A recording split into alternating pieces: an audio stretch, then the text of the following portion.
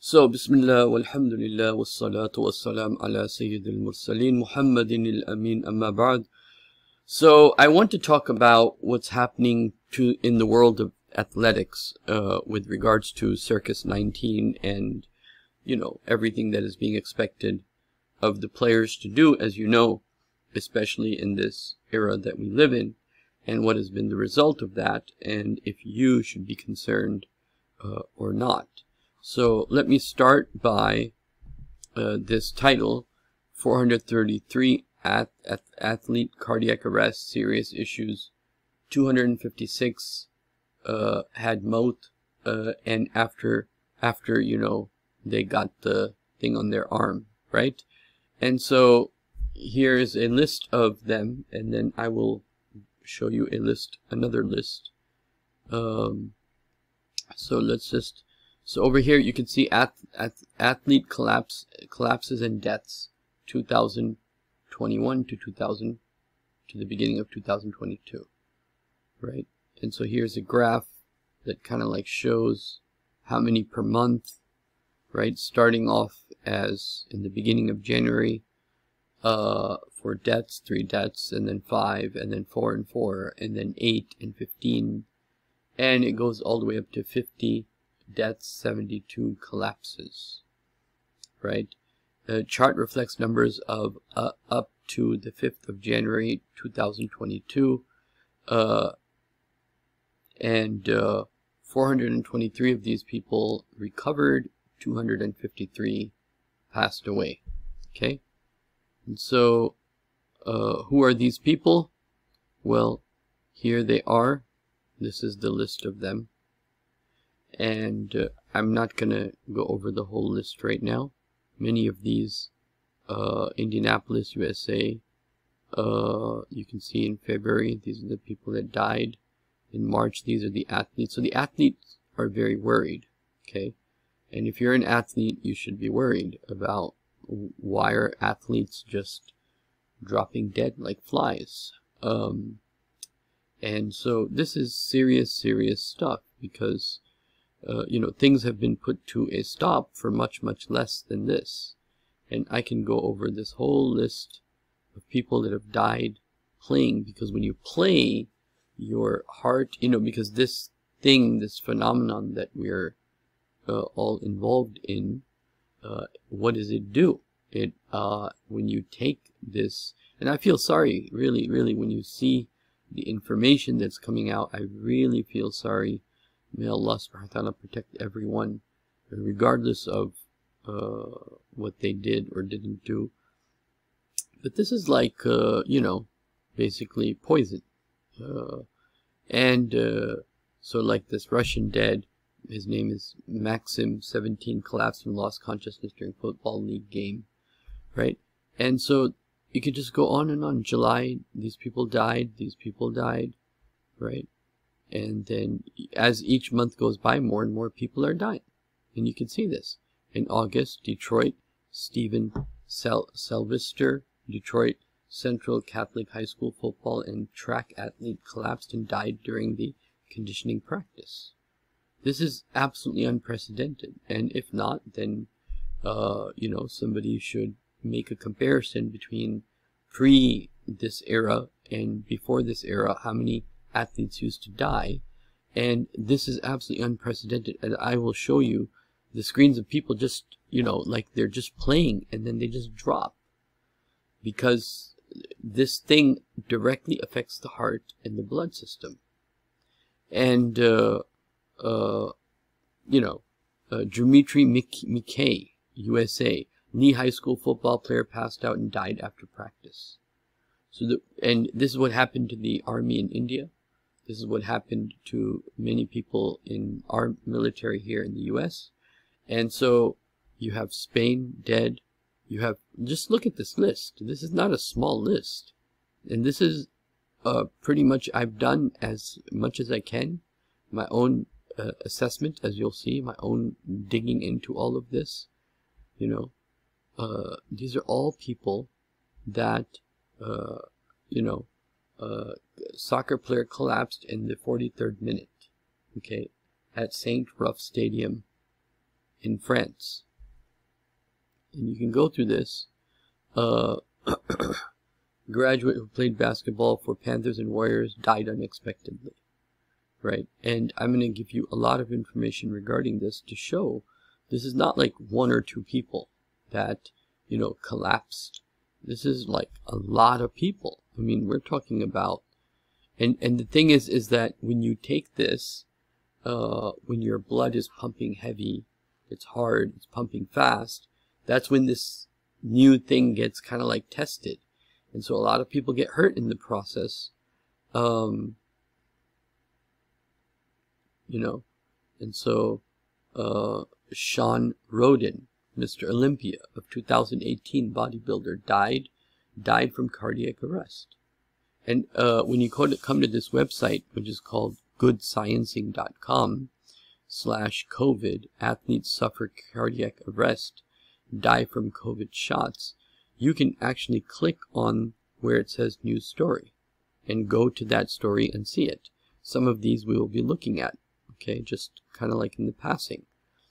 And so this, you know, to save life is to save all of humanity. And so if there's any one of you out there that's thinking of, you know, uh, here's one thing that I would like to explain to um, people that take the time to listen to uh, my thoughts.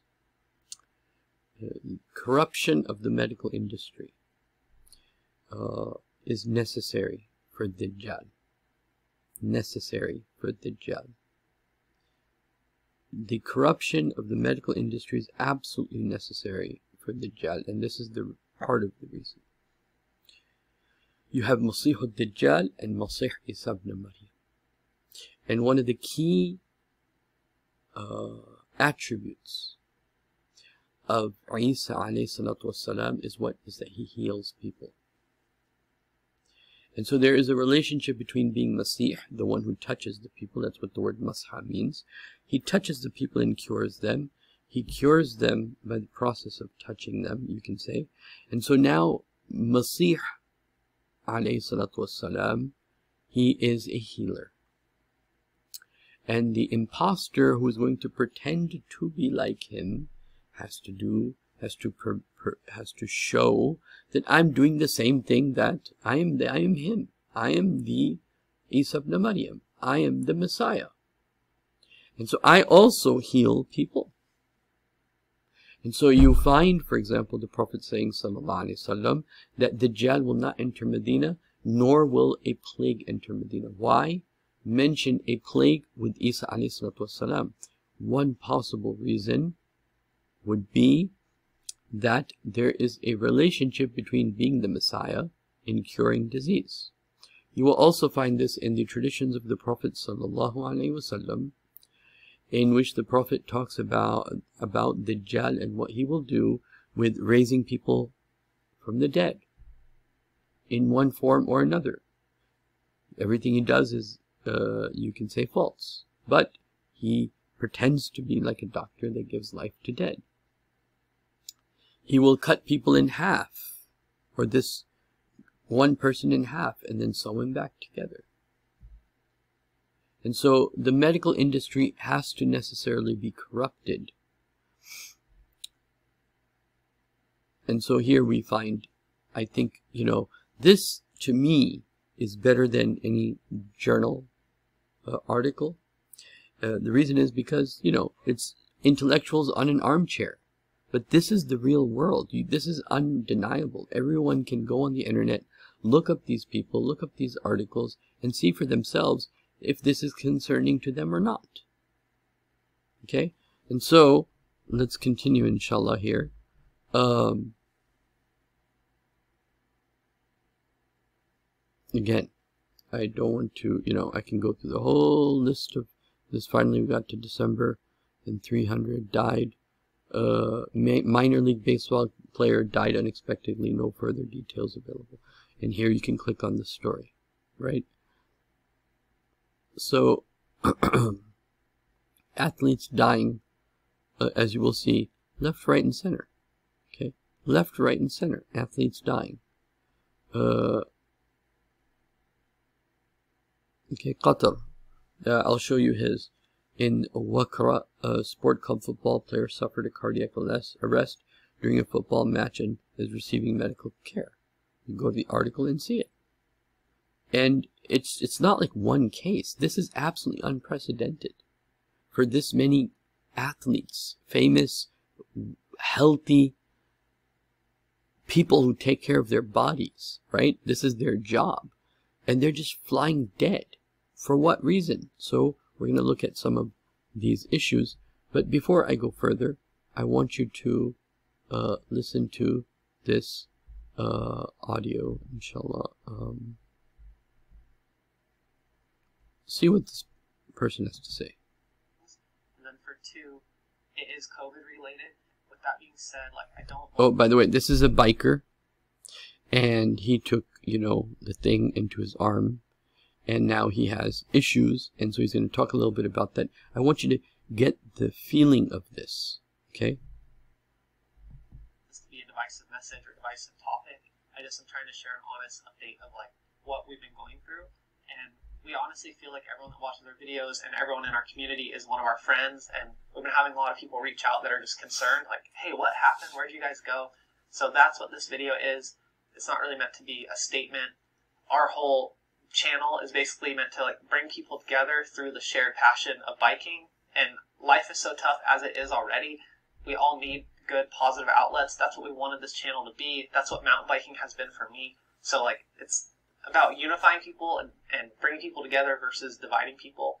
So just yeah, just keep that in mind. This is meant to be just a, an honest what I've been going through. It's not meant to divide people. It's not meant to be a statement. I just want to share what's been going on. I guess let's just jump into it.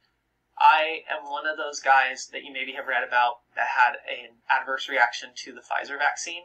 So in early June, April and I were planning on, you know, going on this big road trip all around the U.S. We also had some plans to go to Canada once the border opened up. So we got vaccinated. Luckily, April had hers. Has totally been fine. Me, on the other hand, um, about three weeks after my shot, I started to really have some weird kind of fatigue issues and also just like some phantom heart fluttering. And the only way I could explain it is I almost felt like I, you know, if you drink too much caffeine or something, then your heart rate just jacks up and you kind of feel like dizzy and stuff. I had that happening like multiple times a day. And so I completely cut out all stimulants, all caffeine, everything, and just was really kind of like resting a lot more than I ever have.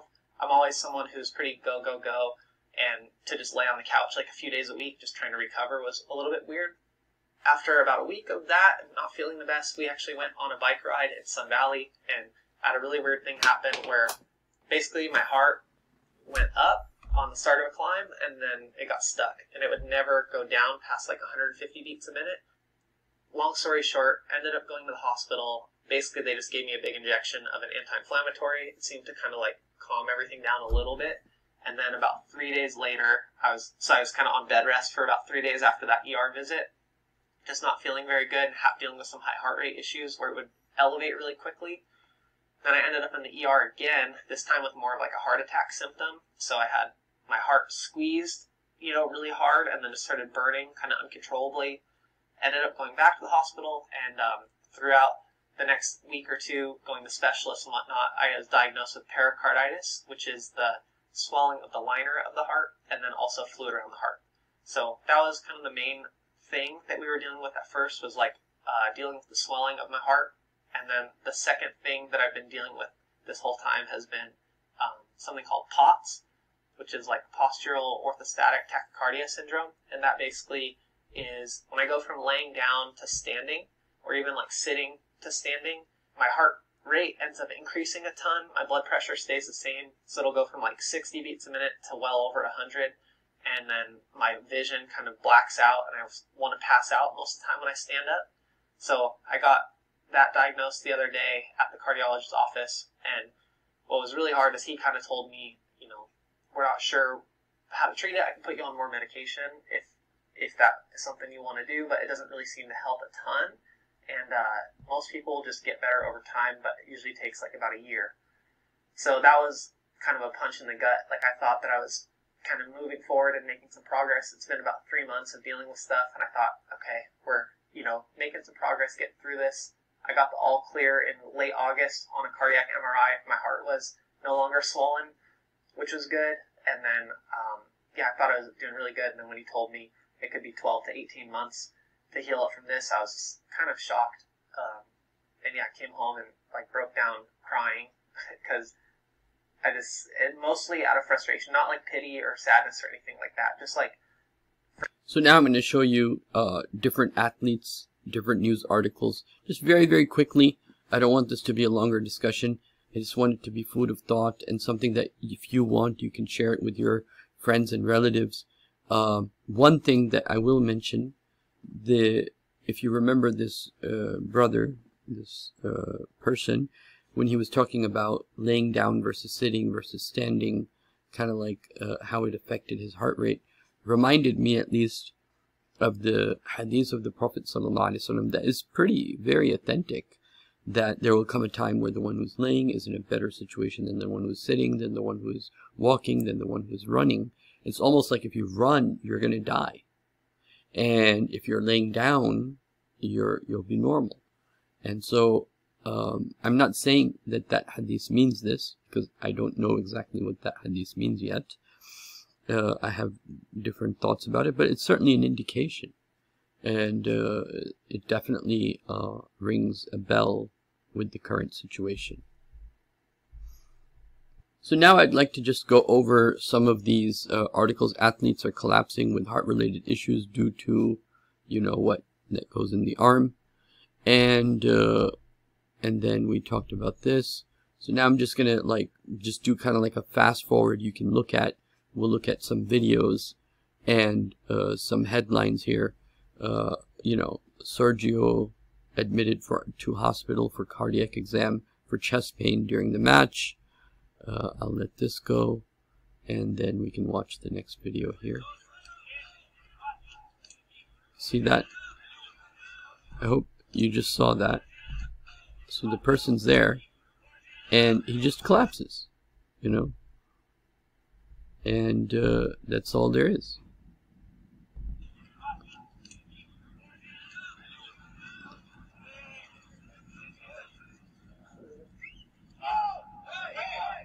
And of course, everyone understands this is what? Everybody understands that this is specifically after certain things have been put into the body. Uh, age dies at age 29. And this is also very unprecedented. Is the age at which a lot of these people that I'm going to show you, at the age at which they're passing away. Okay. Uh, let's go on to the next one. And so, uh, ex-Arsenal youth player Sam Ogie dies at age 35. Okay. Some of these might not be uh, uh, related to what's being put into the body. There might be other issues, other underlining issues, but majority of this is happening at an unprecedented rate because of that. Uh, here you see this article over here, and uh, you have this Brazilian soccer player dies after collapsing, right? The the more you are exercising. I was eating because I was stressed out, candy bars and chips and donuts, gaining weight. But since I started noon, I... and so this is about two tennis players, and then you'll see one collapse. Uh, Sadly, though, we were watching a match on, on court two just a, a few moments ago, and not really too surprising to give a match on, on court two just a. So this person collapsed. That should be enough for now to go over this. And teen died who died after collapse after collapsing at Princeton High School. Who died? A teen. A teen died. He there's no way like from the perspective of asbab, meaning whatever Allah has written is written, but from the world of asbab, the world of cause and effect, you don't expect a teenager to die and collapse because they're uh, involved in athletics, right? So um, there's a definite relationship, as you saw from also the mountain bike person, uh, between uh, the heart and this thing that's being put into the body. This person, Samuel Kalu, is fine after collapsing on the pitch. Uh, okay. Let us move on.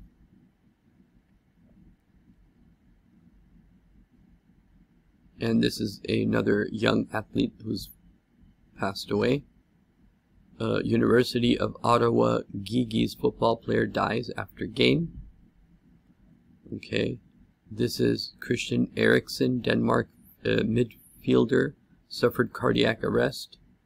Um, this is a person who plays cricket by the name of Wasim Abu Ali, 22, awake but shocked, in hospital after collapsing on pitch in horrible experience. Okay. Uh, this is uh, another athlete, uh, and this is in the Guardian newspaper, uh, recovering in hospital after on-field collapse. This is absolutely unprecedented. And so, uh, this is in another language, so I'm just going to let it go. Uh, Gen 27 collapses on football field and dies. Okay. Um, here's another picture, but this is in another language, so I'm going to let it go. Uh, I'm going to let this one go since it's in another language. Um, okay, here, uh, some other person uh, over here has passed away. Uh, 29 year old professional football player suffers myocarditis uh, after, you know what, they put over here, it says this, possible end of career. Okay, so uh, we have so many athletes saying it's because of this. Indonesian double star Kido dies after heart attack at age what? 36. Okay. Uh, two West Indian players uh, collapse on field. Okay, so they're playing cricket and they collapse on the field. Uh, let's see what this is. Son, we're grabbing burgers for dinner if you're interested. Uh, I'm vegan, Walter. You had bacon for breakfast.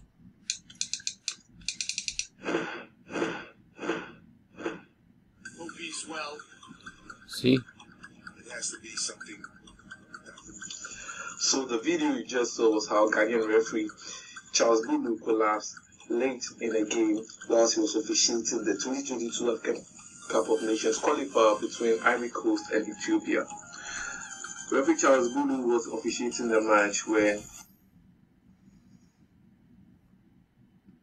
24 cricket player dies after heart attack. Okay. So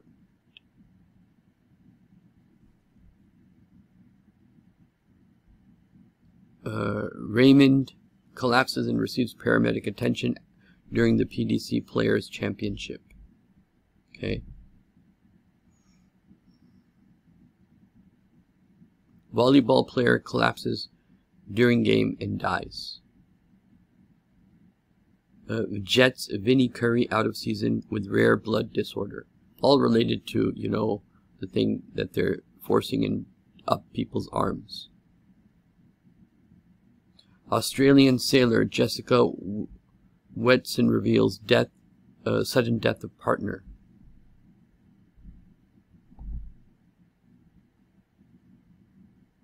Tom Felton, Harry Potter star, collapses during celebrity golf match. Former 49ers and Saints linebacker Parys Haralson dies at 37. Uh,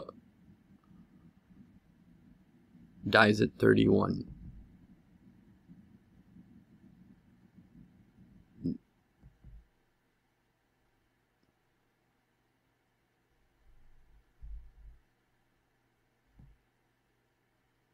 Student athlete's TikTok went viral after he developed uh, myocarditis from you know what they put between the arms. Here's what the experts want to, you to know.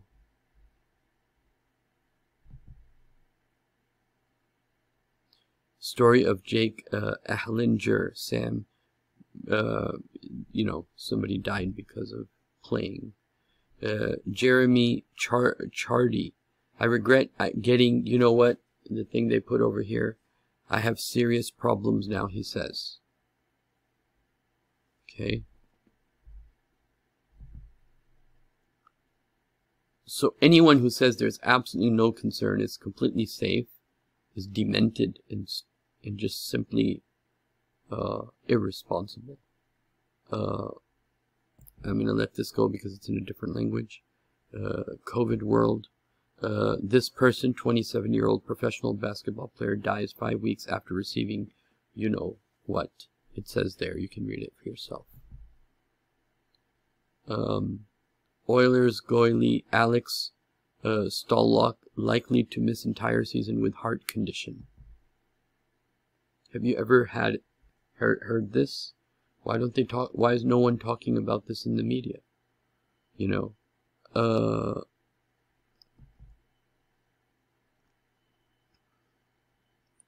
uh, here you can see it says something about you know what you put in the arm uh, with this person, and uh,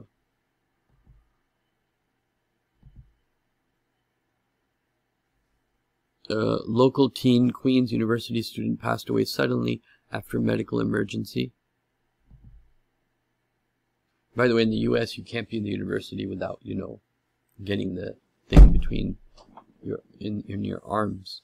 Oilers forward uh, out indefinitely with uh, myocarditis. Okay, and this disease is directly linked to you know getting the thing in your arm. Uh, I'll leave this. I'll leave this. Former Atlanta Hawks guard Brandon Goodwin claims, you know, the thing in the arm ended his season. How many of these athletes have said this now? Uh, that we've seen that have said because of this uh, thing they put in your arm, their their their career is gone. Uh, hockey player who died uh, for nearly 10 minutes after collapsing hails best pal for saving his life. Uh, this guy at 31, you know, same thing. Uh, is back in training after experiencing long corona vaccination side effects. Uh, dies, this cricket player dies after cardiac arrest, suffering cardiac arrest. Um,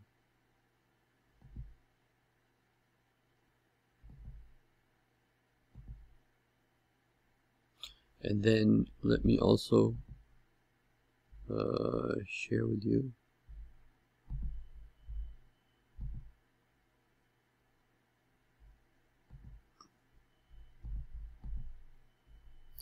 some other stuff. Uh, deep sorrow, grief as 24-year-old former goal of the season-winning hockey player dies uh, after collapse on ice. Okay Uh, for this person, again, same thing, medical emergency, a heart attack. Um, and there he goes.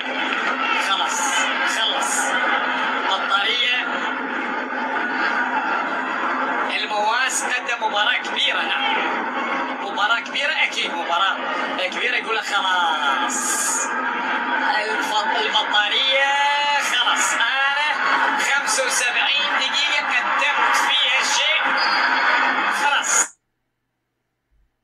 See? The athlete collapses deaths following you know what is put in the arm. That's what it says. Uh, this is another person. Same thing. Uh, collapses. uh, this player also collapses. So what's what's the what's the end result here? The end result here is if we look at what's happening in the world, you can't go to the university without taking this. Players have to take this. Players are dying at an unprecedented rate. They're getting heart attack. They're getting other blood diseases at an unprecedented rate. So to say that this thing is safe is ludicrous. It's completely ludicrous.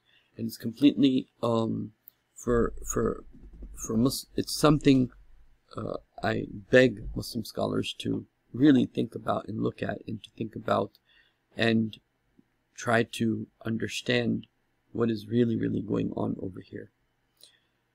Okay, I think that will be enough for today, inshallah ta'ala. Assalamu alaikum wa rahmatullahi wa barakatuh.